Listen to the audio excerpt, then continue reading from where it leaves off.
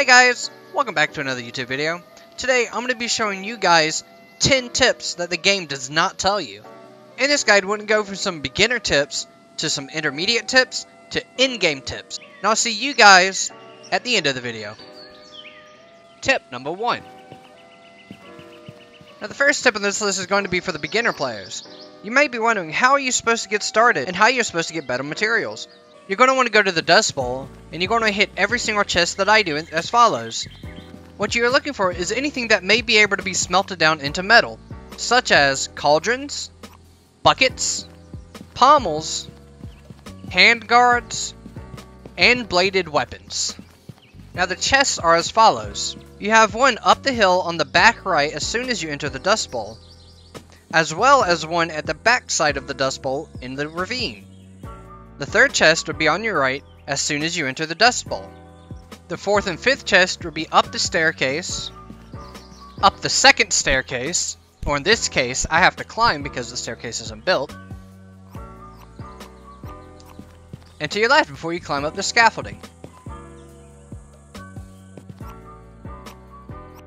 Future Nagasakii here, I forgot to mention that there is a chest on the right side of the scaffolding before you go up it. Heading over to the respawn potion, you will see a chest on its right.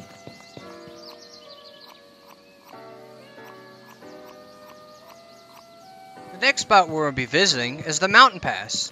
After approaching the town hall, take a left and go down the pass. After crossing the bridge, we will continue following the path all the way until we get to the first arch. After arriving at the arch, we will see a map to our right. Pass the map and go straight ahead. We will then take a right. And then at the fork, we will take another right.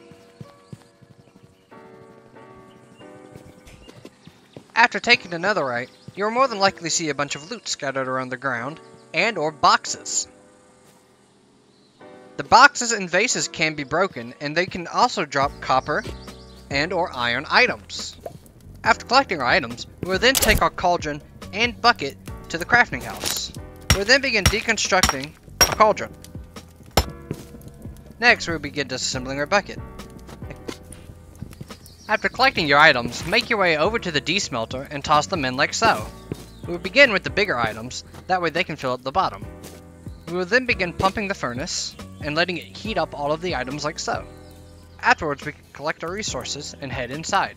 We will now be adding both of our resources into the smelter, closing it.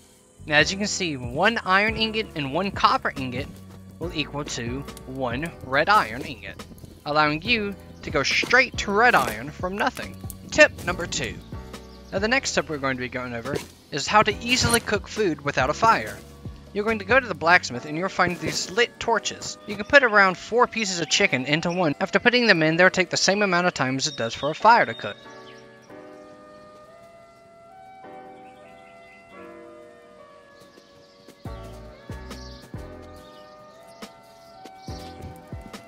Tip number three. Moving on has to deal with an abundance of items on the ground. Now nobody wants to have to bend down and pick up a bunch of items because one, that can hurt your back. Now there's an easy solution in-game to this and it is called a net. As you can see, just by swinging the net on the ground like a metal detector, it will begin picking up all of the items on the ground. It can still only hold up to one stack of items. In this case, for cut up pumpkins, it is 30 per stack.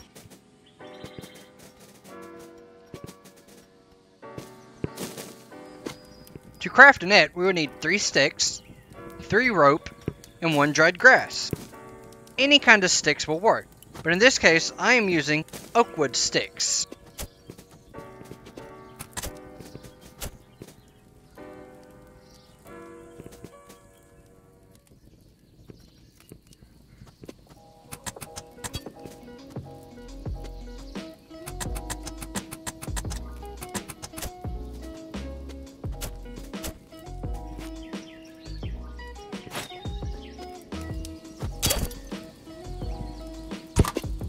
And now as easy as that, you have yourself a net. For a side tip, you can also connect many kinds of handles onto a net. I like to use the medium handle, as in my opinion, it gives the net the perfect amount of reach. Tip number 4. Have you ever found yourself having way too much uncooked food and you want a way to be able to cook it quickly? Well look no further than this tip. All you would need is a chest filled with any item with one slot open.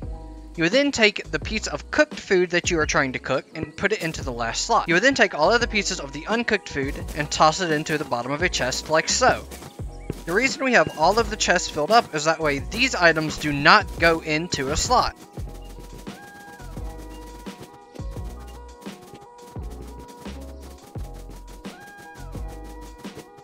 After placing all of our food in, we would then take a piece of dried grass and place it as close to the bottom of the chest as possible. We would then take our wood and put it around the bottom of the chest like so. Two pieces is typically all you need. Afterwards, we will take our fire starter and start the fire. As you can see, almost immediately, smoke begins rising out of the chest.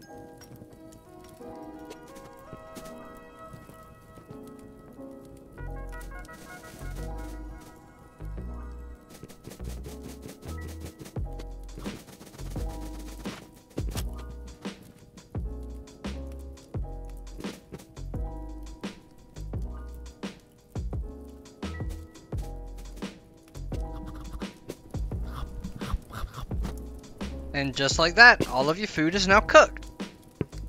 Tip number 5. I'll be showing you guys how to make some money. The first thing you want to do is go up to the televator with 35 crystals. You're going to throw them in, and you're going to teleport down to layer 30. After arriving in the mines, we then begin checking every chest and crate for any possible gold items and or gold coins.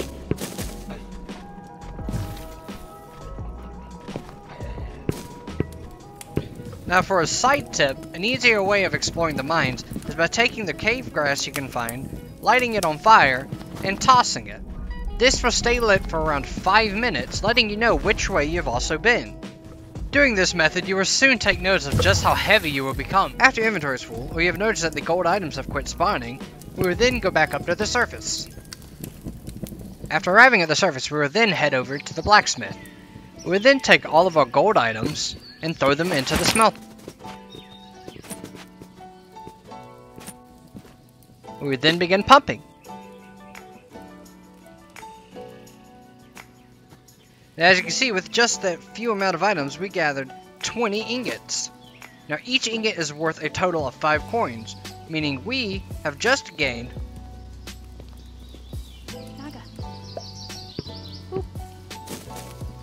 Don't you boot me while I'm making a video? Boop. You're fine. I can edit. After getting our gold, we will then make our way up to the town hall and put it into the coin press like so.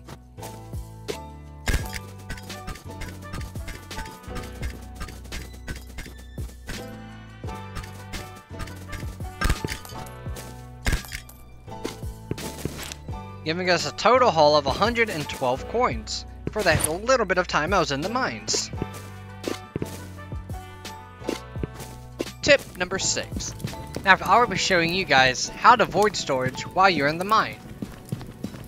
The first thing you're going to want to look for is a rock that is kind of clipping near the ceiling like so. We then teleport up onto the rock and get as close to the wall as possible.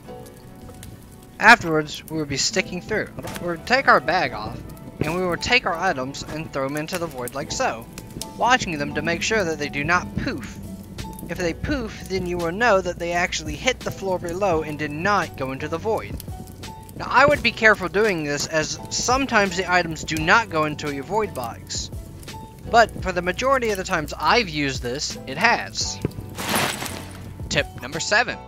Now some of you may consider this next tip cheating. I'm going to tell you guys to go make sure to check out my other videos, such as my shrine videos, or my cooking videos, or anything like that, as they teach you important tips on how to survive in a township tale. My shrine videos will teach you exactly how to farm XP for that respective branch efficiently. My cooking videos will show you the best way to cook, as well as the best potions that you need to make. Tip number 8. As you can see, I lost my glow shroom into the lake. And as you can see, when I try to get close to it, I get dunked out and get teleported back to the surface. Now I'm going to be showing you guys the easiest way of being able to get your items back. After grabbing a willing volunteer, they will have to look down towards the water as we kill them.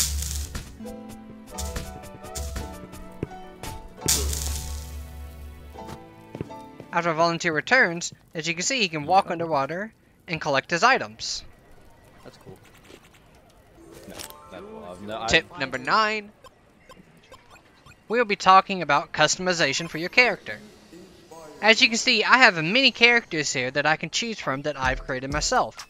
My personal favorite being the maid, followed closely, followed closely by my lumberjack outfit.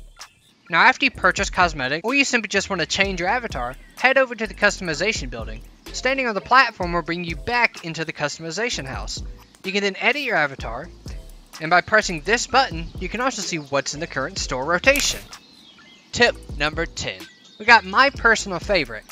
Make a farm. I've always find myself running out of food and there's no spurgers to be found around. So my solution? Make a farm. Making a farm is simple and easy. Let me show you. As you can see here, I have pumpkins, tomatoes, and blueberries. I prefer pumpkins as they are the easiest to grow, but they do require the longest growth time out of all. As you can see here, we currently have one that's ready to be picked. Such as this.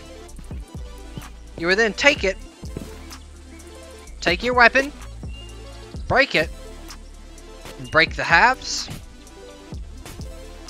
and in doing so, you will gain a seed. You can then plant the seed into the ground, like so. The same goes for tomatoes. You'll take an right you'll take an unripe tomato. You will then take your weapon, slice it up into halves. Take each half, hold it towards the ground, and plant it. If you haven't heard it yet today, I love you. I'm so proud of you, and I'm glad that you're here. I would also like to take this time to give a huge shout out to our channel members, Sir Spamalot. Remember, if you want a chance to be shouted out in my videos, then make sure to click the join button below. And as always, I'll see you guys in the next video. Bye bye! Thank you so much for staying to the end of the video. As a special reward, you will be the first to know that on October 1st, the Roundtable will open up a second server called Tales of the Roundtable. This would be a Voodoo modded server with a lot more to do than just the vanilla game. Now make sure to keep this a secret as I only want those who watch to the end of the video to know. And I'll see you guys later.